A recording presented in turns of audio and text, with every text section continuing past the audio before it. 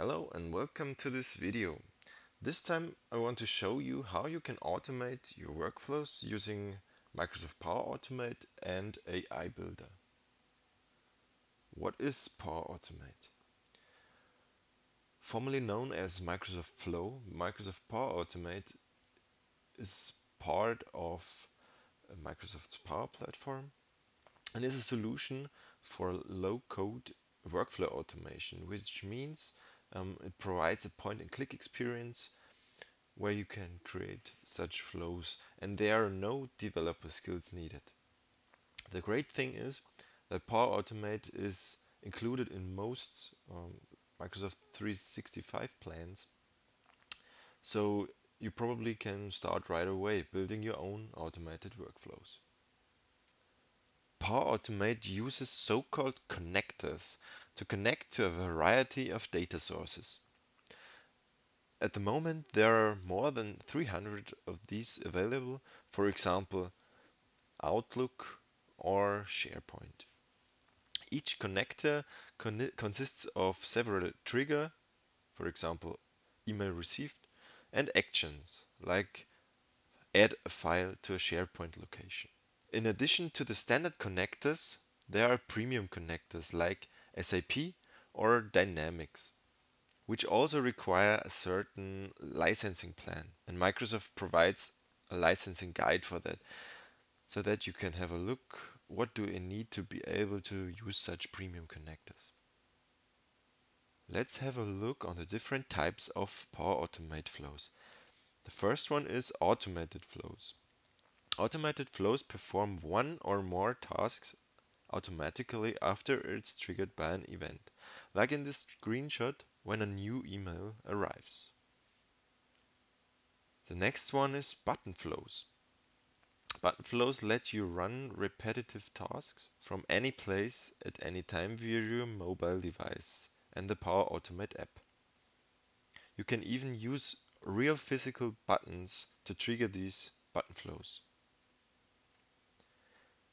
If you want to perform one or more tasks on a schedule, use scheduled flows. If you want to define a set of steps for users to follow to take them to a desired outcome, then use business process flows. As you can see in the screenshot, it provides a step-by-step -step guided UI. And the last type is UI flows. UI flows provide a so-called robotic process automation RPA, which lets you record and playback user interface actions. With UI flows, you can automate processes with legacy applications which do not provide appropriate APIs or where it is too expensive to build APIs. To add intelligence to your automated processes, you can use Microsoft's AI Builder. AI Builder is also part of Microsoft's Power Platform and it brings AI capabilities through a point and click experience without coding and data science skills. AI Builder provides several AI models, for example, the entity extraction model. This is the one I will use in this demo video, which automatically detects entities like phone number, for example, in a given text. Another AI model is object detection, for automatically extracting information about objects in a given picture. Like you can see here in the screenshot, um, picture with different kinds of tea. The form processing model automatically extracts information out of documents like invoices or purchase orders, provided as PDF or JPEG files. There are a few more AI models available for this AI builder. And if you're interested, just have a look at Microsoft's documentation. Regarding licensing, AI Builder capabilities are licensed as add-on to your existing Power Automate or Power App license. Now let's have a look at this thing in action. My demo scenario is about registering online for an event. The participant called demo user registers with an email address on a website for an event. After registration, the event website sends an email notification to the organizer, me. The organizer has to pick the participant's email and update the event in his Outlook account with the participant's email, all manually. Luckily, there's Power Automate. As soon as the registration notification arrives in the organizer's inbox, a Power Automate flow is triggered. This flow automatically picks the participant's email address and adds it to the Outlook event, and I can focus more on important work. Now we're here in the event organizer's Outlook inbox, and let's have a look in the calendar. We see there's an event on Friday and with no participants yet.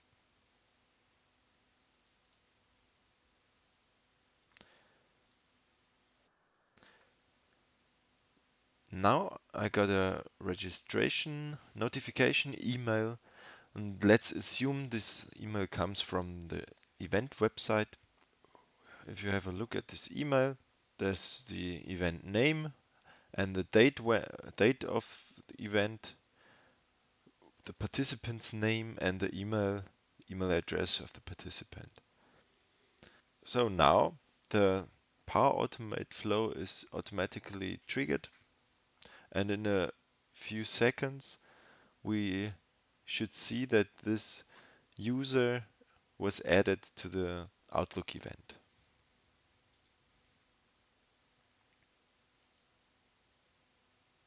Now we see that Power Automate Flow automatically added the participant to this event on Friday 26th. If we have a look at the Outlook inbox of the participant, we see that the participant automatically got an invitation to this event and he can add it to his calendar, Outlook calendar. Now let's have a detailed look at the Power Automate flow, what's what's actually happening. So for that, I'm here in the online version, web version of Office, and I click on Power Automate. Opens up the Power Automate app. And I open up my event registration Power Automate flow. Here's an, an, an overview and a history of executions and I can have a detailed look what, what exactly happened and which data ran through this Power Automate flow. Here we have five minutes ago. So this is the Power Automate flow I used for this demo scenario. And as we already heard, the flow needs a trigger event. And this trigger event is, for example, the Outlook trigger email received.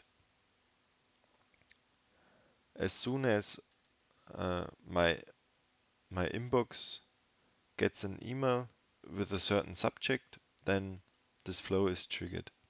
After that, the, the email body is converted to text, to plain text, as you can see here. And this, this plain email body text is then handed over to the AI model entity extraction, which we already talked about. This AI model extracts entities from a given text. So as you can see here, this is the email input text. And here we have the extracted entities of that AI model. For example, the event name, or we have the email entity with the participant's email. So let's skip the few actions. Here we have another Outlook action called get calendar view of events, which is looking for for the event in my Outlook calendar using the extracted date of the event and the event name. If the action finds uh, appropriate Outlook event, then the Power Automate flow tries to update this, this event with the participant's email. As you can see here. Now I got a new registration email which is not matching to the Outlook event. The date is not matching. So this should lead to an error while processing the Power Automate flow. A few seconds later, the Power Automate flow flags the registration email and um, sends me a notification that it was not possible to add the participant to the Outlook event. So I have to do it manually now. Back in the last execution of the Power Automate flow, um, we can see that this time the event was not successfully found. Instead, the Power Automate flow sent me a notification, hey, there's a problem adding the participant, and flag flagged the participant's registration email.